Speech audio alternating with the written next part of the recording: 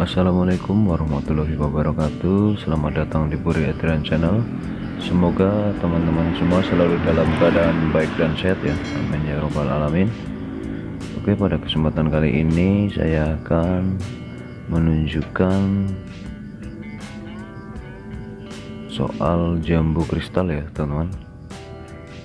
Bahwa pada pohon jambu kristal ini bisa muncul jambu bijinya ya ini sudah sering saya jumpai pada saat melakukan pembungkusan pada jambu kristal. Dan ini bisa saja terjadi pada pohon jambu kristal teman-teman ya.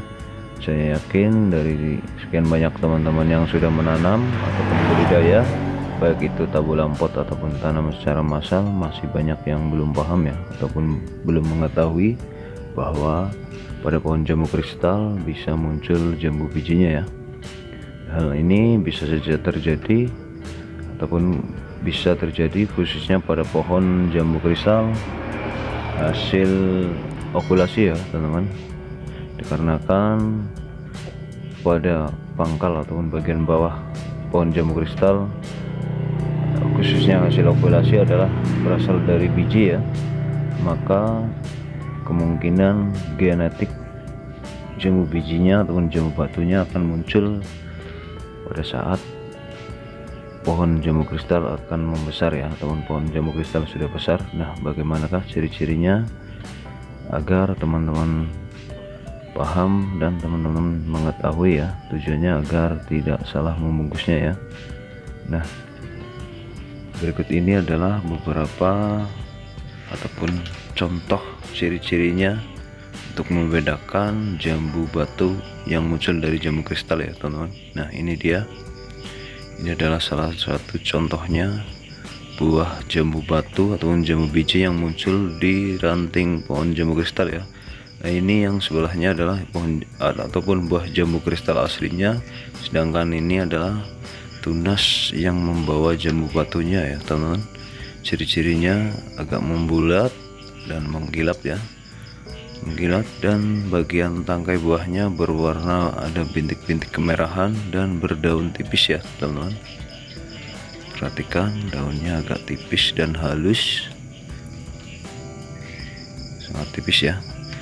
Ini adalah pohon ataupun daun jambu kristal agak kasar ya. Beda dengan tangkai yang membawa jambu batu ya teman-teman. Ini bisa saya buktikan saya jamin ini adalah jambu batu ataupun jambu biji ya saya akan membelahnya supaya teman-teman tahu. Nah, ini teman-teman setelah saya belah terbukti ya teman-teman bahwa di bagian dalamnya ada bintik-bintik berwarna putih calon bijinya ya.